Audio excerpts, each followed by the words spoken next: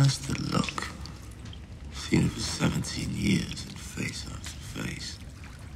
You all despise me. Kingslayer. Oathbreaker. Man without honor.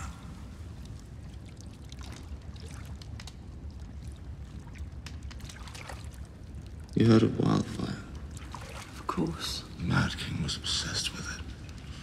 He loved to watch people burn. Their skin blackened, and blistered, and melted off their bones. He burned lords he didn't like. He burned hands who disobeyed him. He burned anyone who was against him. Before long, half the country was against him. Aerys saw traitors everywhere.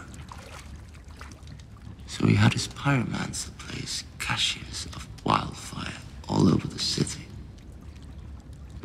The of Baelor and the slums of Flea Bottom, under houses, stables, taverns, even beneath the Red Keep itself. Finally, the day of reckoning came. Robert Baratheon marched in the capital after his victory at the Trident. But my father arrived first. The whole Lannister army at his back, promising to defend the city against the rebels. Knew my father better than that. He's never been one to pick the losing side.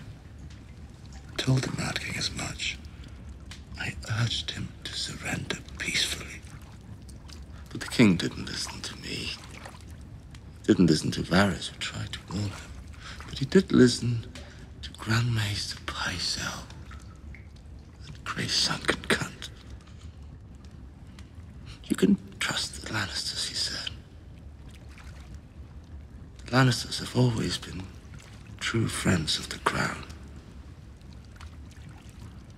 So we opened the gates and my father sacked the city. Once again, I came to the king, begging him to surrender.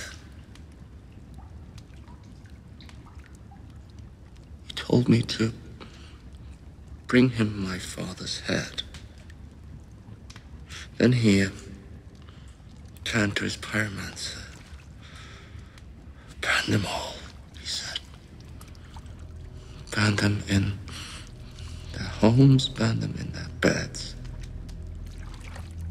Tell me if your precious Renly commanded you to kill your own father and stand by while thousands of men, women, and children burned alive, would you have done it?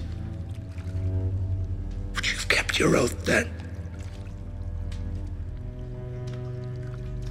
First, uh, I killed the pyromancer, and then, when the king turned to flee, I drove my sword into his back. Burn them all, he kept saying. Burn them all. I don't think he expected to die. He, he meant to burn with the rest of us and rise again. Reborn as a dragon, turn his enemies to ash. I slit his throat to make sure that didn't happen. That's where Ned Stark found me. If this is true, why didn't you tell anyone? Why didn't you tell Lord Stark? Stark? You think the Honorable Ned Stark wanted to hear my side? He judged me guilty the moment he set eyes on me.